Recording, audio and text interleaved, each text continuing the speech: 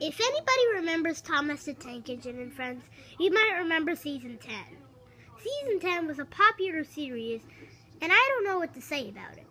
But I did unfold one episode that was lost about that particular series.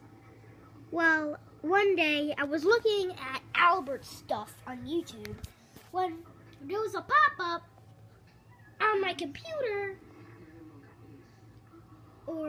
did I say phone? I think I said phone. Sorry.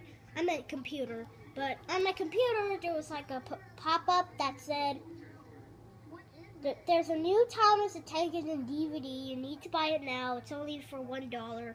My mom had $1 and I asked her for it and she did buy it. And well, well, the thing is, I wasn't expecting what I was expecting.